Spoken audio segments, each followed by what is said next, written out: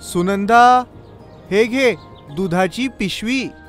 हां द्या. हे बघ नेहा आम्ही दुधाच्या पिशव्या कचऱ्यात टाकत नाही. अ, म- मग काय करता? हो सांगते. बघ सर्वप्रथम पिशवीचा तुकडा अशा पद्धतीने कापायचा की तो पिशवीलाच चिकटून राहावा. दूध भांड्यात ओतल्यावर पिशवी दोनदा पाण्याने धुवायची आणि अशी भिंतीच्या लादीवर चिकटवायची. आता दोन दिवसात ही पिशवी सुकल्यावर ती काढून एका खोक्यामध्ये अशा प्रकारे एकावर एक ठेवायच्या. पंधरा ते वीस दिवसात हा खोका सह्याद्रीच्या प्लास्टिक गोळा करणाऱ्या माणसाला द्यायचा. बस. अय्या मस्तच आहे हे.